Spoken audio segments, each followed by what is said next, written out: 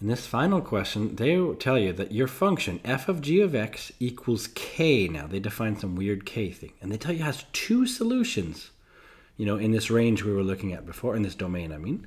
So find k.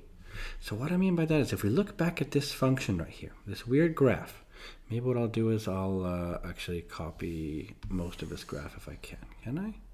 I hope so. Copy, go over here and try to paste. Let's see if that works. Hooray! So what I'm trying to do here is just try to draw you, okay, here was our graph. Now we tell you that if this thing equals k, what does that mean? Remember that this represents your y value. So that's like it equals some constant y value. So for example, if I had some sort of function, just like some sort of graph that goes, you know, like any shape you want like this. If I said, so if that was my f of x, if I said that equals 2, what I could do then is I could find my function here, set, and I also graph some function called 2. So maybe it's like, maybe this is 2. And you can see that here, see there's one, two, three. here there's 4 solutions. See that that's, that's because this is, this is like a y value here, but so is this. So you're saying y equals this, which is this graph, is the same as y equals some number. Remember, that's a y value. A constant number would be just like some number that's just hanging around here.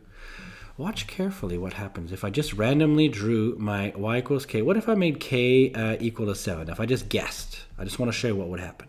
If I put k equals 7, that means I would set my original equation, this f of g of x, that's this graph.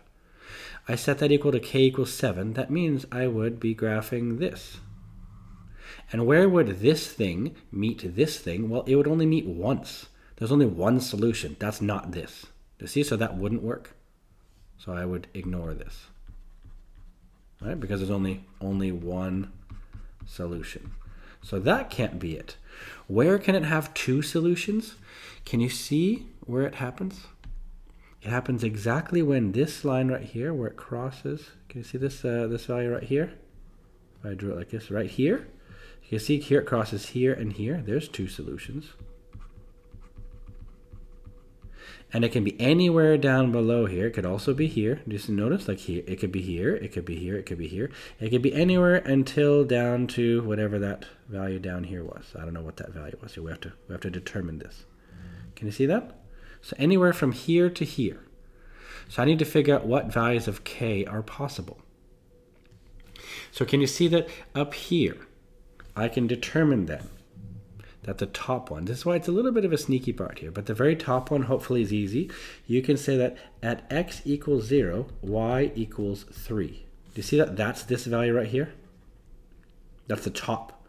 So that works. See there, there's two solutions. And anywhere down below, can you see that anywhere smaller than 3? So I'm going to put, for example, I know for sure now my answer is going to be k is me somewhere between some number and 3 and it can equal 3. We'll talk about that in a second here. And it'll be hopefully somewhere something, you know, it can equal something else here. So let's see then, what value of x gives me that smallest value, value of y? Well, maybe I need to determine that. So let's maybe ask our calculator for that. You know how to ask your calculator for that? That's the minimum value. So we go to menu and I can do analyze and I can ask it for the minimum. And it wants to know the lower bound. So I put it maybe to the, here's the minimum right here. So if I want the left, I go a little bit left, upper bound is somewhere there. It tells me the uh, maximum, uh, the, sorry, the minimum happens at x equals 1.41 and y equals minus 1. So I'll put that in. So x equals 1.41 and y equals 1. That's another place. So that's over here. Uh, whoops, it wasn't 1. Sorry, it was minus 1, wasn't it? Let's go back to the calculator. Yeah, it's minus 1. So I should put that in here. That's a minus 1. So we know that this one right here, now can it equal this? It can equal this. So it can equal 3. That's why I consider this one.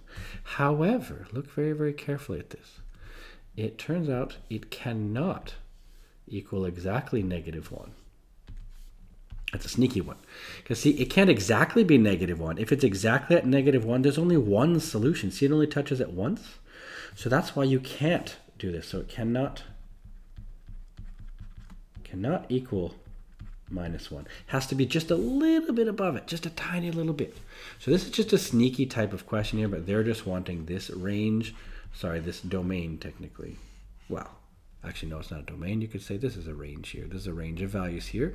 But it basically, k can be between negative 1, uh, so that was this value right here. So I just drew it wrong, but that was actually negative 1 here.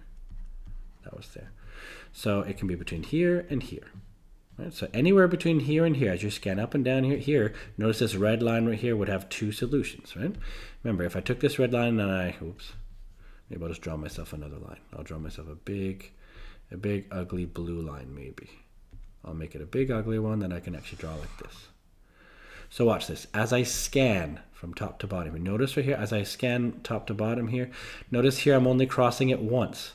Remember, that's not two solutions. That's why I can't count this, right? And setting it equal to k, that's because that's a constant number.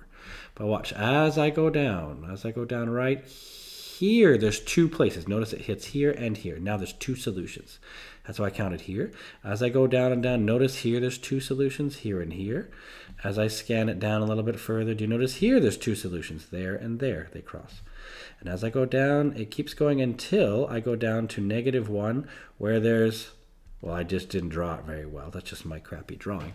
But the graph right here, technically it stops having two solutions. That's why you can't consider it. I hope that made sense by scanning up and down like this. So that was actually a pretty tough question uh, if you think about this last section here, but it's just a matter of uh, interpreting it in the right way.